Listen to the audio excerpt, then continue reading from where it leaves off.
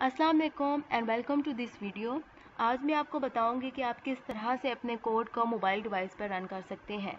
तो सबसे पहले आप जब अपने एंड्रॉयड स्टूडियो को ओपन कर लें और जब आप यहाँ पर आपको ये ग्रीन कलर का आइकन नज़र आ रहा है, इसको आप जब क्लिक करेंगे तो यहाँ पर आपको कोई भी डिवाइस शो नहीं हो रही होगी। तो देखते हैं कि यहाँ पर डिवाइस किस तरह से शो होती है। इसके लिए सबसे पहले आपको अपने मोबाइल के मोबाइल डिवाइस पर कुछ सेटिंग्स करनी होती हैं। तो देखते हैं वो सेटिंग्स कैसे होती हैं। तो सबसे पहले आप मोबाइल डिवाइस की सेटिंग्स पर आ जाएँ। सेटिंग्स को कर, ओपन करने के बाद यहाँ पर आपको अबाउट डिवाइस नज़र आ रहा है। इसको आप ओपन कर लें। ओपन करने के बाद यहाँ पर आपको सॉफ्टवेयर इन्फो नज़र आ रहा है। इसको ओपन कर लें और यहाँ पर आपको बिल्ड बिल्ड नंबर नज़र आ रहा है। इसको आपने सेवन टाइम जो है क्लिक करना है। मैंने ऑलरेडी किया हुआ है तो इसलिए वो लिखा आ रहा है नो नीड लेकिन आपने इसको यूँ सेवन टाइम क्लिक कर लेना है। उसके बाद बैक का बटन क्लिक करें।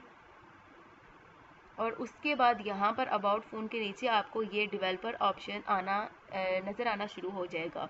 इसको जब आप ओपन करेंगे तो यहाँ पर, इसको ओपन करने के बाद आप नीचे आएँगे तो यहाँ पर आपको यू एस बी डिबगिंग नज़र आ रहा है।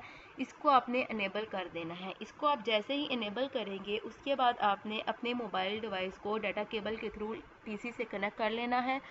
और उसके बाद जब आप इसको रन यहाँ पर करेंगे तो यहाँ पर आपको अपने मोबाइल डिवाइस का नाम नज़र आना शुरू हो जाएगा। तो फिर आप इस, यहाँ पर इजीली आप ओके करेंगे तो आप फिर जो है अपने कोड को रन कर सकते हैं। तो इन फिर मिलते हैं नेक्स्ट वीडियो में। अल्लाह हाफिज़।